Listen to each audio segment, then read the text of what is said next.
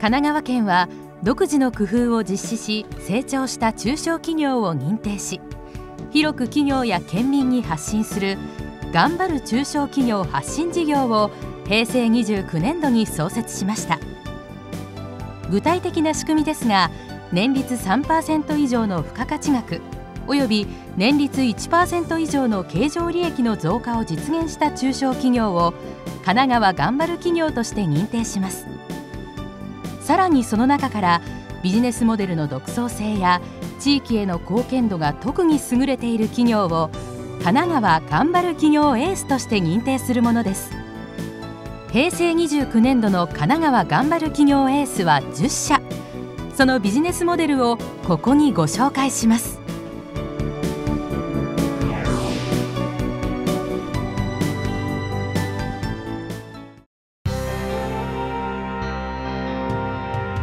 株式会社辻巻は1916年に創業。創業より培った印刷知識とノウハウを生かしお客様に高品質な製品を提供しています。シルクスクリーン印刷を転用したデジタル印刷技術により立体凹凸面形状への多色印刷を確立し時代のニーズに合わせて業務を変革してきたことで着実に業績を上げています。年で、え創業101年経ちますけれどもこれからも空気と水以外は何でも印刷できる会社を目指して頑張っていきたいと思っていますのでよろしくお願いします。常に新しいことに挑戦し印刷業務で頼られる横浜生まれの老舗企業を目指していきます。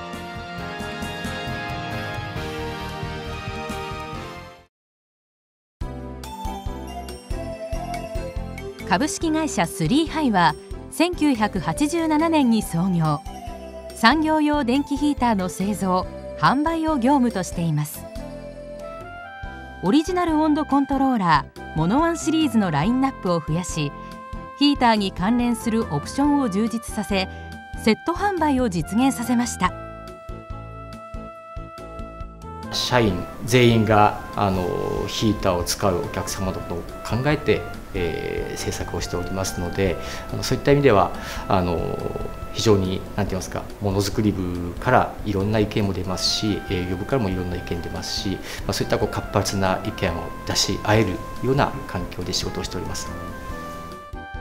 これからも社会を温める活動を継続していき県内企業の模範となるような企業であり続けたいと考えています。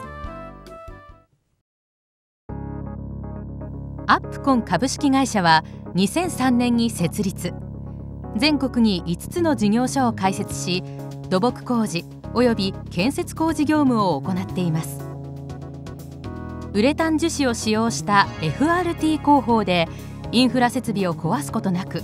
短い工期とコスト削減を実現し補修によって延命化させることでストックマネジメントに貢献しています。一番は当然新しい工法をあの研究開発して世に出すのでやはり、えー、従来よりも安い候補安く価格的に安くできるかそれから早くできるかそして外していけないのは環境に安全な工法であるかそういうところを、えー、心がけて開発しています。FRT 工法の認知度をさらに高め現在研究開発しているプロジェクトで社会に貢献していきたいと考えています。株式会社マキシマムテクノロジーは2006年に設立。セラミック半導体の研究およびその応用製品の製造販売を行っています。特定特殊自動車排ガス規制に対応するためブローバイガスを還元する装置用のヒーターを開発し差別化を実現しました。私たちは PTC というセラミック半導体の研究開発製品化を行っております。PTC というのはあるので急激に抵抗値が高くなる特性を持った抵抗体です。当社の PTC の応用製品として医療機それから EV 等に進出したいと考えております。これからもお客様を満足させるカスタム製品を提供し当社独自の技術と信頼を認識いただけるよう努力していきます。株式会社アサイマーキングシステムは1984年に設立。主に各種の 3M 製グラフィックスとフィルム類および関連商品のデザイン企画と制作施工を行っています。今まで不可能とされていたエスカレーター凹凸面へのデザインや事故対策を呼びかけるサインの表示を実現しました。我々でなければできないような、まあ、オンリーワンの技術かつやはりこういったこう安全ですとか、えー、景観の、えー、美観に寄与するような、えー、そういったこうビジネス、えー、そういったもオンリーワンのビジネスをさらに加速させていきたいと思っております。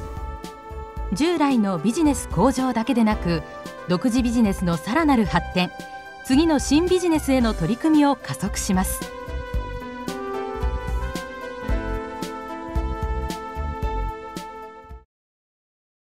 株式会社若商は2012年に設立。食料雑貨衣料品の輸入および販売を行っています。機能性食品であるチアシードの活用方法について企画から生産までストーリーのある商品作りを行いスタッフ全員のさまざまな意見を取り入れチアシードこんにゃくゼリーを開発しました。チアシードこんにゃくゼリーを作らさせていただいてあの日本国内の消費者さんや、まあ、メーカーさんから認知度が上がらさせていただきまして神奈川の、えーとまあ、果汁ですとかを使って今後まあ、今話題になっているそのチアシードこんにゃくゼリーとかにあのコラボさせていただいて、まあ、神奈川の名前を世界や国内にも発信していきたいなとは思っております。認定企業としてスタッフ全員が誇りを持って楽しく働きやすい職場づくりを進めていきます。株式会社富士 WPC は1997年に設立。WPC 処理 DLC コーティング等の金属表面処理の受託加工を行っています。WPC 処理を用いて剥がれる懸念のないコーティング代替処理を実施しています。ぶどまり率向上に貢献するなどお客様目線の商品開発に取り組んでいます。製品開発という局面においてはいわゆる競争のないところなので他社ができない分野ですね。もしくはあの他社が入ってきてもその分野はもう次のステップにステージに移っていて追随できないと。そういう分野をターゲットにしています。機械工業の技術開発も強化しながら食品業界を中心とした取り組みにも力を入れていきます。大京技研工業株式会社は1986年に設立。工業用粘着テープ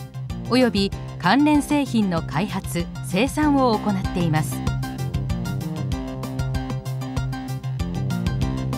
次世代型防虫テープや透明補充テープなどユニークな自社製品の開発を行い販路の拡大を目指しています。最終的にやっぱり食というものがね日本の食っていうのは本当に安心安全ですよね。その中でもやはり問題が起きうる可能性というのが出てくる。そこをさらに安全安心というものを大きくできるような形で貢献していきたいなというふうに思っております。はい。自社の技術やアイデアを活用しお客様や社会的な課題を解決することで県のものづくりの発展に貢献していきます。株式会社小祝は1973年に創業。自動車部品の試作や量産鋳物部品の製造。3D 金属粉末工法による部品の製造を行っています。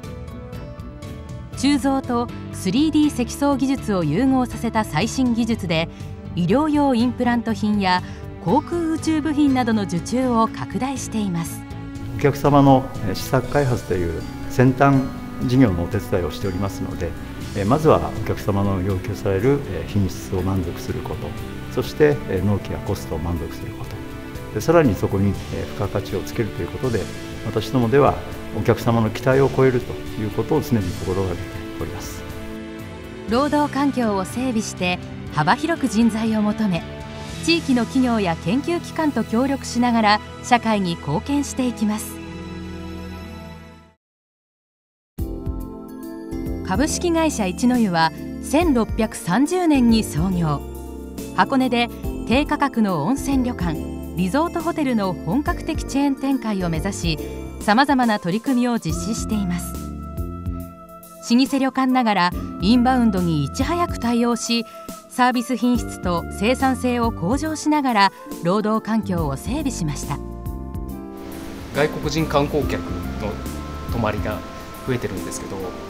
我々が提供する商品はじゃあ国内の方も海外の方も同じ商品を提供してましてそういう意味ではあの変わらず一の湯の自信の持った商品というのを変わらず提供したいということは心がけています。今後もお客様に旅というものを特別なものではなくもっと身近なものにしていただこうと考えています。このように神奈川県には優れた中小企業がたくさんあります。明日のエース企業になるのはそしてそれを支えるのはあなたかもしれません。